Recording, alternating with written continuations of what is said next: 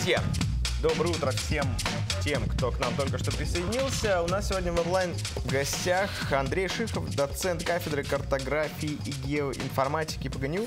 А, И поговорим мы сегодня про смерчи. И Давай про мы сначала поздороваемся. Узнаем. Андрей слышит ли нас и видит ли нас, вообще есть ли связь. Андрей, доброе утро. Доброе утро, слышим, видим. Вот, прекрасно. А, Давным-давно я слышал новость, наверное, пару лет назад точно, о том, что э, пермские ученые получили грант и начали изучать смерчи. Тогда же, в этот же момент, где-то говорили, что пусть и на территории Пермского края, но где-то у соседей, в Башкирии, по-моему, прошел чуть ли не один из самых крупных смерчей за последнее время, который был отфиксирован каким-то образом учеными и даже снят на видеокамеру. И вот сейчас до нас доходит новость, что коллектив ученых из России, Румынии и Германии опубликовали фундаментальную научную работу, посвященную климатологии смерчей в Северной Европе. Я так понимаю, что ученые из. России это как раз вы и специалисты Пермского классического университета. О, Нет, здесь большинство авторов из России, то есть э, руководитель этого коллектива о, и, в общем-то, большинство участников, они из Москвы. Есть у нас такой институт физики атмосферы, вот э, научный сотрудник этого института Александр Чернопульский, он, собственно, автор идеи и главный автор, о, собственно, базы данных и публикации. А его соавторы, в том числе мы, занимались какими-то участками этой большой работы, то есть мы собирали какие-то отдельные массивы данных, скажем, вот я в основном занимался спутниковой съемкой, данными спутниковой съемки, а второй коллега из Перми, который у нас еще студент, Игорь Ажигов, он занимался мониторингом данных по соцсетям, по СМИ и, соответственно, опросом очевидцев. А, Да, Но это далеко не вся работа. Допустим, участники из Европы, их роль состояла из Румынии и Германии. Их роль состояла в том, что они ведут общеевропейскую базу, а, Соответственно, они предоставили данные, которые были у них, а затем они в свою базу заносят уже то, что было собрано здесь. Мне кажется, есть какое-то, не знаю, предубеждение, что смерчи в России не так часто бывают. Это так или все-таки, если посмотреть на А протяжении уж на территории Пермского Да. края, то это явление, это ого-го. разовое, как будто бы, или это неправда? О, Ну, это, с одной стороны, конечно же, неправда, потому что как раз о, эта работа, она доказала, что количество смертей примерно в 10 раз выше, чем считалось ранее. Но если рассматривать с точки зрения конкретного человека, проживающего в конкретном пункте, значит, о, и там, особо выезжающего за его пределы, о, то вероятность увидеть о, смерть, она, в общем, достаточно невелика. О, Хотя в разных районах страны естественно, разная. Но, в общем, она примерно в 10 раз меньше, э, чем э, в наиболее смерчеопасных районах э, Соединенных Штатов. Опять же, не только из-за того, что, э, значит, у нас э, смертей меньше, у нас еще плотность населения все-таки, конечно, меньше, чем в США. Поэтому в разных э, фото, видео, материалов оттуда, конечно, порядок больше, чем э, у нас. А, я видел, что начиная с X века отслед- отслеживали смерчи. А как э, исторически можно отследить? Чисто по каким-то Воспоминаниям, летописям? которые занесли в книги метрические, я не знаю, там в какие их заносили, в летописи. Ну, по сути, именно так. То есть э, вот этим непосредственно Александр Чернопульский занимался. Там в летописях были, значит, упоминания различных гифи, ураганов. Где-то слово «смерч», вообще «смерч» и «торнадо», да, это одно и то же. Просто «торнадо», значит, иностранный термин, «смерч» термин русскоязычный. И там, получается, вот эти упоминания, да, они действительно с X века были, но тут надо что отметить, что в самой базе данных у нас э, там 2900 без малого случаев, 2879, и они имеют э, четыре уровня достоверности. Значит, high высокий, medium, э, средний, э, низкий, low, там, и very, э, very low очень низкий. Э, Соответственно, вот те данные, которые были из летописи, они, конечно же, в основном имели уровень достоверности э, low или very low, то есть, э, соответственно, минимальный. Э, Если посмотреть на последние, скажем, ну, пять лет, э, ведь э, были зафиксированы очень мощные смерчи, и вот даже сейчас наш телезритель имеет возможность видеть э, спутниковые съемки как раз следа, последа такого от смерча, когда там с корнями вырывало деревья на достаточно серьезной территории. Да, когда крыши домов... э, Крыши домов крыши улетали ехали. вместе с коровами. Вообще, э, э, самые страшные смерчи, ну, по крайней мере, на территории Прикамья или России, какие-то выдающиеся, яркие, которые можно зафиксировать? Ну, здесь как раз можно отметить, наверное, таких три случая, которые получили наибольшую известность. Дело в том, что интерес к случаям смертей, он как-то резко увеличивался после того, как раз, когда такие выдающиеся случаи были. Первое – это знаменитый московский смерч, который прошел вообще недалеко от Кремля в 1904 году. Он был очень сильный, с очень большим охватом территории и большим количеством жертв, которые, э, к сожалению, значит, точно задокументировано не было, но имеет там по разным оценкам либо третью, либо четвертую категорию интенсивности из пяти. Самым сильным смерчем в России из тех, которые были, значит, нанесли большой ущерб, считается смерч в Иваново. Это даже совершенно очень известная история, которая случилась 9 июня 1984 года. Там было несколько смерчей. Наиболее сильный из них прошел от Иванова э, до, соответственно, южных границ Костромской области. Там в общей сложности порядка 80 километров. И в ширину достигал на пике более километра. Как раз э, максимальная интенсивность его наблюдалась в районе Иванова. И там были страшные разрушения. Погибло по разным оценкам от 69 там, до 400 человек. Э, но здесь имело место неблагоприятное стечение множества факторов. То, что смерть случился в выходной день, и прошел он э, через дачные поселки через кладбище, то есть там, где у людей, по сути, не было возможности спрятаться. Э, ни одного подобного случая по количеству жертв от смертей в России за последние 50 лет не было. Вот не только из-за интенсивности, но еще из-за того, что он прошел вот через такую населенную территорию и очень в неудачное время. Э, ну и вот из последних случаев э, наибольшую известность получил вот как раз э, башкирский смерч 29 августа 2014 года. Он был на самом деле не так, чтобы намного слабее Ивановского, то есть Ивановский четвертая категория, башкирский третья, но там было гораздо меньше пострадавших и погибших, потому что, да, он разрушил несколько населенных пунктов, и частично, в том числе город Янул пострадал, но там была вот такая уже более серьезная застройка, там тоже около 100 домов были снесены практически до состояния неподлежащего восстановлению, но люди успели в основном допрятаться где-то в подвалах, где-то еще, и погибло только два человека.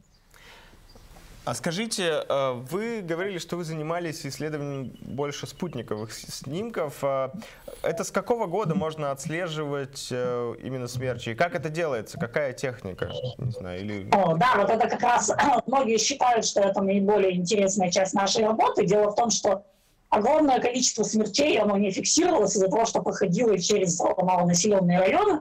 А у нас в России все-таки большая часть этих малонаселенных районов, она покрыта лесом если исключить там тундру и арктическую зону, где смерчей не бывает практически.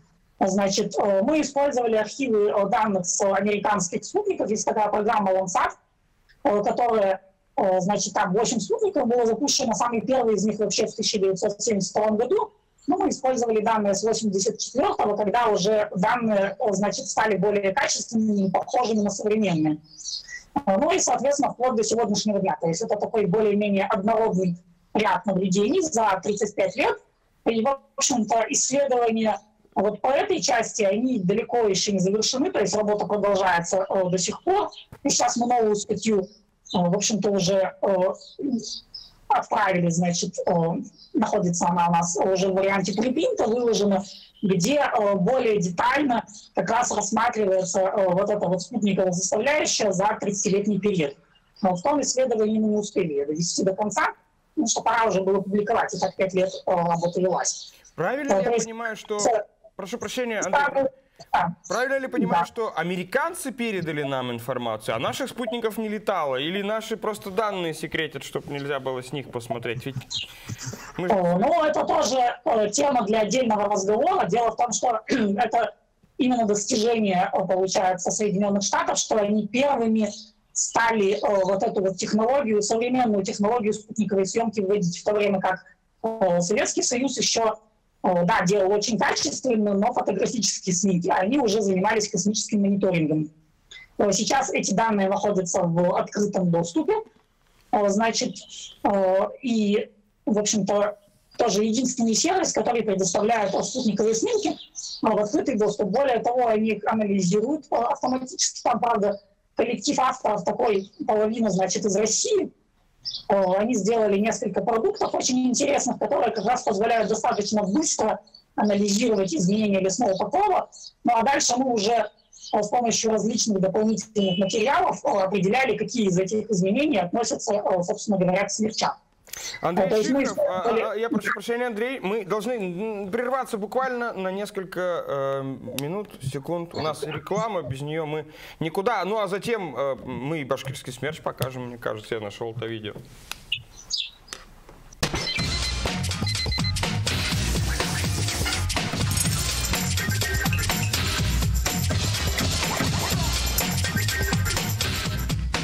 Продолжаем разговор с Андреем Шиховым, доцентом кафедры картографии и геоинформатики ПГНИУ о вот он, вот, вот часть, часть вот этого вот, вот, э, да что ж такое-то видео почему-то. Вот так вот выглядит смерч изнутри. Из машины снимали. Это, по-моему, кусочек башкирского э, смерча на YouTube есть. Он, э, его снимали, предоставили, не знаю, в YouTube разместили сотрудники ГТРК Уфа. Вот. Ну, тут ой-ой-ой. Да. Выглядит это, конечно.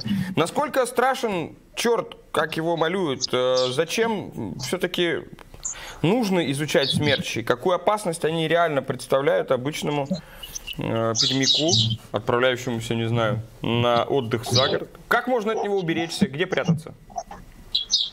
Андрей. Ну, на самом деле сильные смерчи, они все-таки наблюдаются достаточно редко.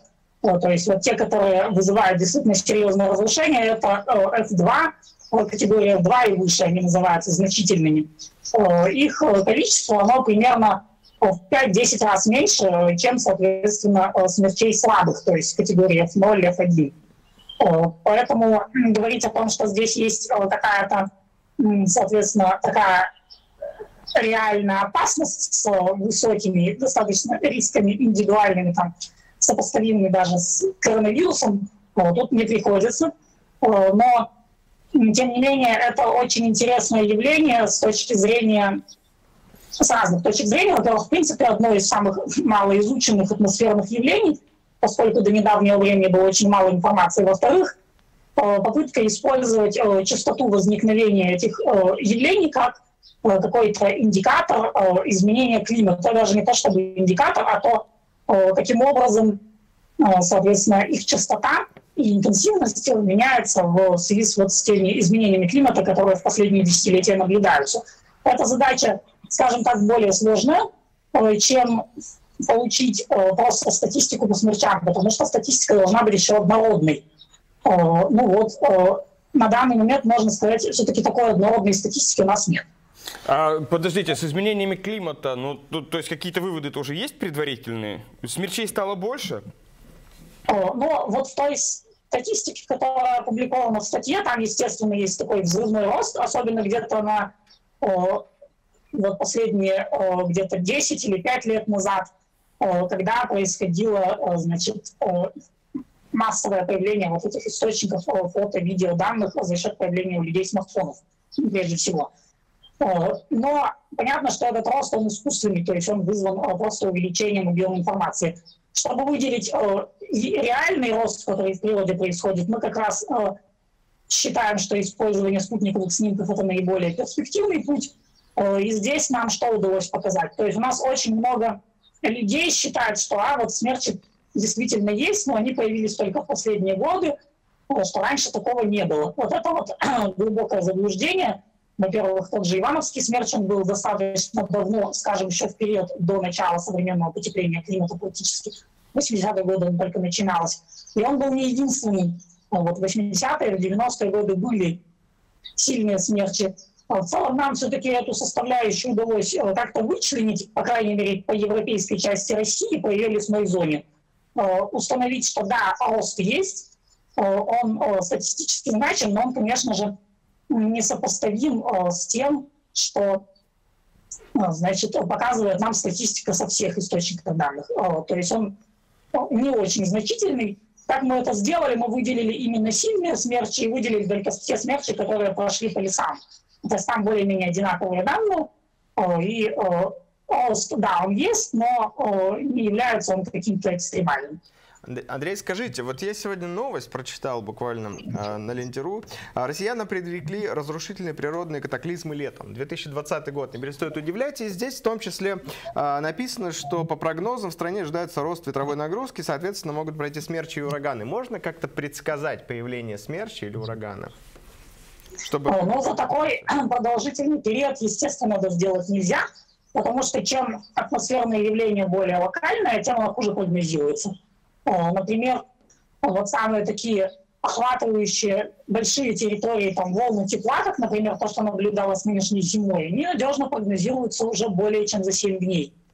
А смерть как явление локальное, вот, в Соединенных Штатах среднее время предупреждения непосредственно о том, что идет смерч, она составляет 13 минут, и каждая минута э, добавления считается там э, великим достижением.